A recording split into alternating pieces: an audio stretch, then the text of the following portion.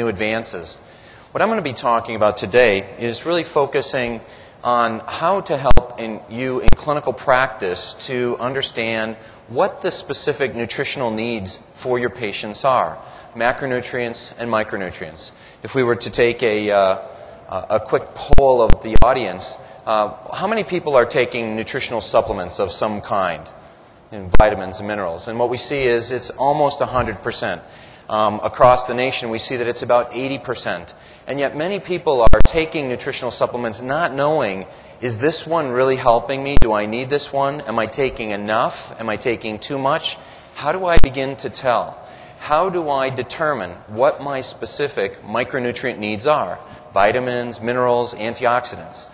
We're going to look at how to uh, sort that out. We're also going to talk about how we determine specifically what the macronutrient needs are. How do you know if someone is in protein deficiency going on? And, and what may be the source of that protein deficiency? Because we usually have adequate amounts of protein in our diet. We may not be breaking it down effectively in our gut in order to be able to give the proper amount uh, of essential amino acids. So we're going to figure out and uh, take a look at how to do that. Now, many people would say in this land of plenty that we have here in the United States, uh, there should be no reason for macronutrient and micronutrient deficiencies. And yet, if you, we look at the National Health and Nutrition Evaluation Survey, NHANES, which is done every five years, go around the country, they uh, analyze uh, blood, urine, saliva, uh, do physical exams, biometric exams on individuals, what they find is that over 60% of the people in the United States have a deficiency of B vitamins. Um, so these, these micronutrients that are necessary cofactors for all of our enzymatic pathways are known to be deficient in clinical practice, we've seen this. We've seen that supporting people with magnesium and zinc and B vitamins makes a difference. It helps to turn around chronic disease, as well as helps to promote, promote uh, wellness and prevention. So we have the ability to begin to look at uh, objective data that we can offer to our, our patients to help them to see this is exactly what your needs are, and this is how we can follow it up. We can use it to motivate the patients, and, uh, and use that as a tool to really be able to individualize therapy. Case I'm going to uh, talk about at the end, but I want to you know set up the framework for it. Is uh, one from my practice, a 42 year old female who came in for uh, dealing with chronic fatigue. Now she had been looking to go on. Um, work on disability. You know, she had been, she was a nurse. She was not able to work. Uh, she was having a very difficult time. She came in for this evaluation. She was on some vitamins and minerals to help her out. Some fish oil, uh, a B50 complex, um, some magnesium, magnesium citrate wouldn't be the one I would use, those little packets of Emergen-C. So she thought that she was taking the fish oil that she needed, the uh, antioxidants that she needed, and the B vitamins, and yet it wasn't helping her at all. Now, she'd been on uh, a tricyclic antidepressant for the pain related to this, uh, was currently on Prozac. So we took and evaluated her to understand what her specific individual biochemistry was, and then made treatment recommendations based on that. And we'll see what, what happens with her over time. But as we look around the room, we look at the slide, we look around the room, it's difficult to sort of tell at a glance, well, which person is the one who's got an uh, optimized potential of the, the right mix of macronutrients, micronutrients, antioxidants, essential fats. Uh, how do we determine that? How do we figure out who the healthy person is in the audience? Well, the optimistic approach is that if we just eat, you know, five fruits and vegetables a day, that we'll be able to get exactly what we need. And while this is important, in fact necessary to do, it's not sufficient. Because what we see when we, when we go ahead and we look at the data that we'll look at right here is that in the, 50, in the last 50 years, this study um, done in the, Amer- in the Journal of uh, American College of Nutrition shows that there's a, def- a deficiency, a deficiency in the foods of nu- in the nutrients as they're coming out of the earth.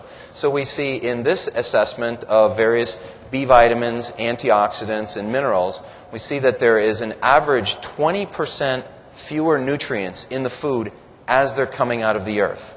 When we look at riboflavin, for example, 37% less riboflavin in our food than there was 50 years ago due to farming techniques, etc. Now, uh, further, further changes looking at minerals, we see that some uh, minerals such as zinc and calcium, there's a 50% decrease in the amount of those minerals in our food. 77% decrease in the trace mineral of copper.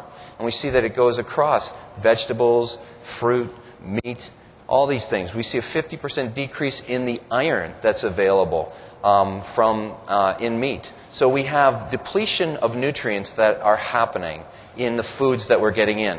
Then we have the refrigeration techniques where we get apples from New Zealand that were picked six months ago, um, and, we, and that's what we have available in our stores.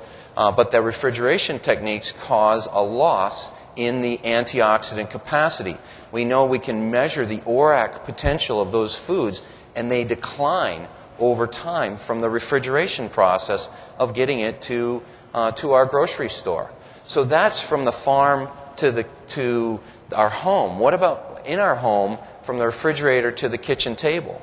Well, th- these studies have been done looking at the decline, for instance, in vitamin C in a whole series of different foods, whether it's raw or boiled or canned. And we see that the, the, the decrease from the yellow line, which is raw, uh, to the blue line, which is, which is if it's boiled, we see a, a decrease across a series of different kinds of uh, fruits and vegetables where the amounts of, of the nutrients of vitamin C are lost from the cooking process.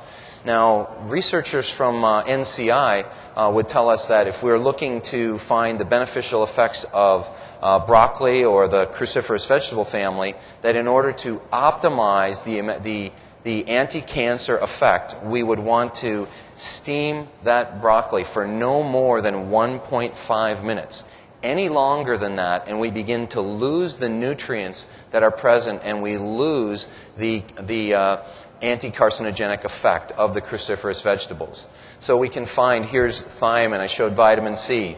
Here's, here's thiamine. Here's a comparison of what our DRI is, the daily recommended intake, that line down at the bottom, looking at iron, uh, riboflavin, zinc, a whole series of different um, nutrients. And it's compared with a Paleolithic diet, a caveman diet, if you will and it's showing, the green line is showing what the caveman diet, the Paleolithic diet, had in it in terms of nutrients. That's what our cells are used to seeing. That's not the DRI, the daily recommended intake, which is the amount that's necessary to prevent, you know, beriberi and pellagra and scurvy.